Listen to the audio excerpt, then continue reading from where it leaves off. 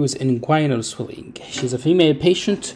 She's known to have hypothyroidism, and she presented to the GP with right inguinal swelling, and GP sent her for pathology.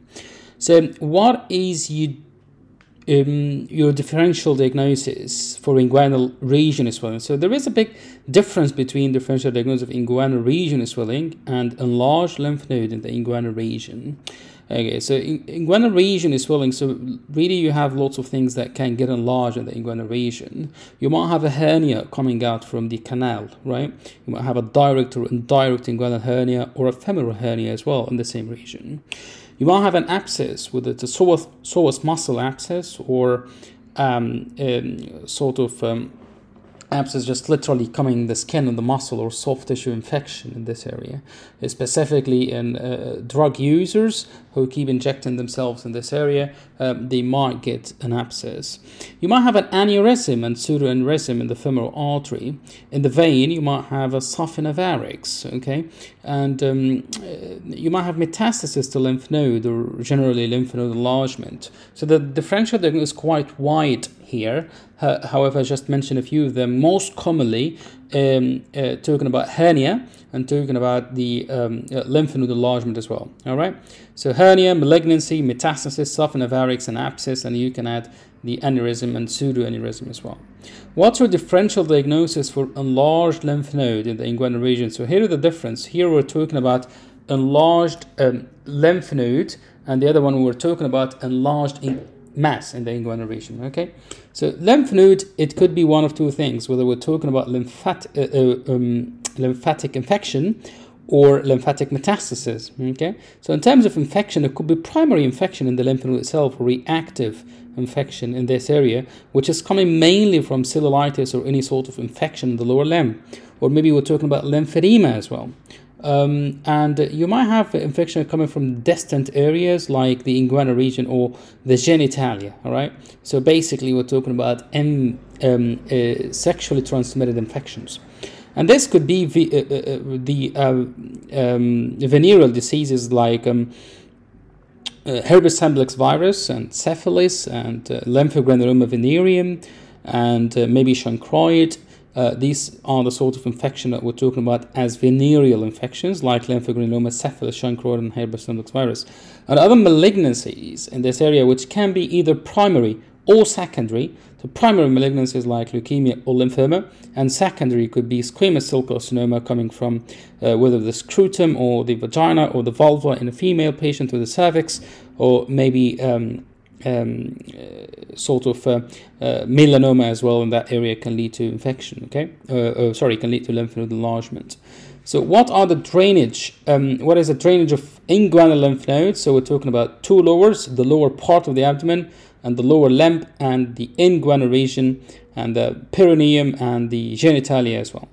Um, so, in this patient, they are telling you that we've done fine needle aspiration cytology, but it was not satisfactory. So what could be the problem with inadequate fine needle aspiration? So here we're talking about the fine needle aspiration. It includes a technique of taking the sample and a technique of saving that sample until it reaches the pathology lab. So we might have a problem with technique of taking the sample, and that include inadequate sampling, all right? Oh, and the sample is usually taken by a small needle and it's under ultrasound guidance. If it was not done under ultrasound guidance, the samples might be very inadequate to, uh, to test by the pathologist. That's one. The second issue might be a problem with the technique of saving the sample until it reaches the pathology lab. All right, so inadequate smearing as well can lead to that. So we have two main reasons, like we mentioned, um, uh, not under, under, under ultrasound guidance or was done under ultrasound, but there is no adequate or enough tissue to be sent for pathology. Well, uh, next question is asking about the uh, skin conditions that could be associated with melanoma. So here I'm going to divide it into two things. We're talking about nevi issues, so problem with the nevus, whether it's a multiple nevi, that's one, or um, a big or large giant congenital nevus, or maybe dysplastic nevus. All right, so talking about nevi, we have congenital big pigmented nevus or multiple nevi or dysplastic nevus, okay? Or we have three conditions like xeroderma pigmentosa and albinism and Fitzpatrick disease uh, type 1. Okay, so what are the risk factors of malignant melanoma? That includes so many risk factors. So the age, uh, uh the, the older you are, the more likely to get malignant melanoma. Being immunocompromised or HIV is also risk factors. Being a male is another risk factor. Having family history of malignant melanoma is another risk factor. Having own history or personal history of malignant melanoma is another risk uh, uh, uh, factor. And um, yeah, that's uh, pretty much it for the risk factors and also history of melanoma, Hutchinson, melanotic freckle being immunocompromised and also red hair or uh, sun exposed area. So red hair, that means you um, lack of melanin cells, right? Type of malignant melanoma, I'll divide this into two broad types, all right? The two broad types can include um, uh, whether it's a, a spread um, like sort of horizontal spread or superficial spread or sort of radial growth radial spread or vertical spread on the other side okay? So the radial spread can be four types. So we're talking about nodular or acral happening in the fingers and the nails and the sole of the foot and the palm or uh, so nodular and um, uh, acral melanoma or superficial spreading melanoma or something called lentigo maligna. You really need just to know the types, all right? And also we have vertical growth like desmoplastic melanoma. We have here a bit of information about each one. So lentigo maligna, it's in the face, specifically of an elderly man. Superficial spreading, it's usually outward growth and the irregular pattern or uneven odor, uh, color. Um, acral melanoma, like we say, palms, hands, sole, and nails, and nodular melanoma, lumpy and blue-black in color, and grows faster and spread downwards and lumpy. All right. Vertical growth, like desmoplastic, it's rare, and pigmented lesion happen in the sun-exposed area. Commonest comments to look for on a pathology report. You're interested to know one. Uh, uh, where is this melanoma? So the size site of this melanoma Two, how big is it? The size of the excised melanoma. Three, the um, depth of invasion, which is Clark classification. And the thickness of that melanoma, which is Breslow thickness, and that will base your management on that. And also the mitosis and the degree of differentiation of that melanoma from the patient own tissue. And also presence of ulceration or lymphovascular invasion of the surrounding structure or distant metastasis to lymph node. So you're interested to know all of that uh, for um, management plan uh, purpose, really. All right. So we've said all of this: the size of melanoma, the site, the Breslow thickness, depth of invasion, ulceration, mitosis, differentiation, lymphovascular invasion, and immunohistochemistry as well. Differences between malignant melanoma and the squamous cell carcinoma. So if you try to draw the epidermis, the epidermis is quite a thick area. So if you try to draw it and divide it into upper two-third and lower third. So melanoma usually happen in the lower third of the epidermis layer and the squamous cell carcinoma usually happen in the upper two-third of the, um, the epidermis, epidermis layer of the skin. Uh, what is meant by satellite lesion? So if you have a melanoma in certain area in the body, it might start to spread by continuity and contiguity, local spread to the surrounding structure until it forms a sort of uh, a, a shape like a satellite, all right? So that's why we call it satellite lesion. So it is a local spread of malignant melanoma by contiguity and continuity to the surrounding structure, leading to multiple pigments coming out of it that looks like a satellite. Epithelioid cells, it's large cells with vesicular nucleus on one of its side and also uh, highly eosinophilic. Uh, it takes a lot of um, uh, basically the um, the blue color in here it means it's highly eosinophilic. It takes a lot of the stain that's being taken by it. All right. So large round cell and uh, upon that eosinophilic cytoplasm and the prominent vesicular nucleus and large nuclei as well is present in the epithelioid cell. All right. What are the poor prognostic factors in malignant melanoma? We mentioned a few risk factors for malignant melanoma, like the age of the patient, the thickness of the melanoma, the depth of invasion, the differentiation of the melanoma, and the, the local and distant metastasis of that melanoma as well.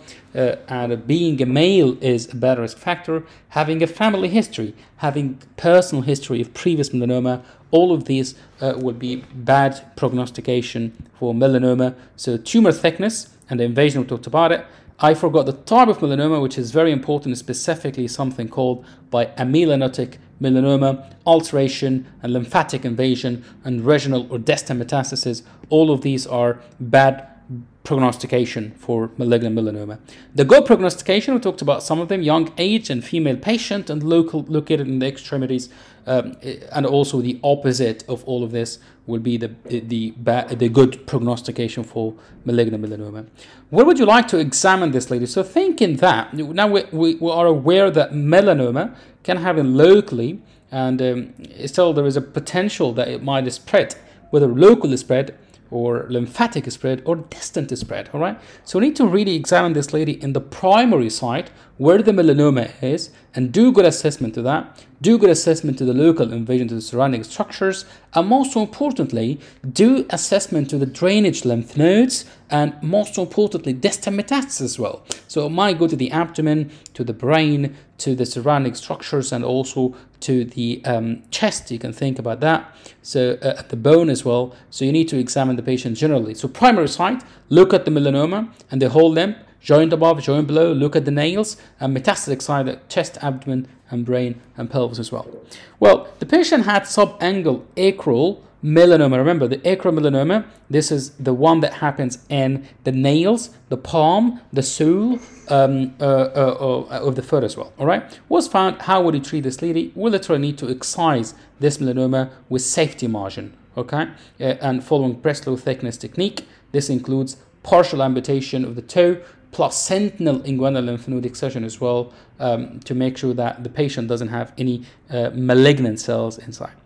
How can you know the phenotype? So when you're being asked about phenotype, and this question is very popular, I believe, about the phenotype of a tumor, usually it's done by something called immunohistochemistry, and I think it's covered somewhere else in, in our videos. All right. Recent histopathological study of the lymph node in metastatic melanoma, other than immunohistochemistry, and here where it comes will it be uh, will be a little bit more difficult. That's why I leave here always a flashcard for these kind of questions because it's quite easy to forget them. Right? There is something called the BRAF gene. That's what what we can do for this patient. So look for genetic mutation studies like BRAF gene.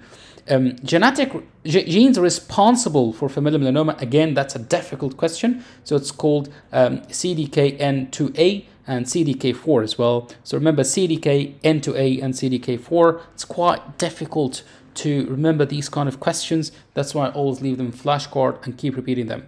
So the lesion was excised and the Breslow thickness is 1.5.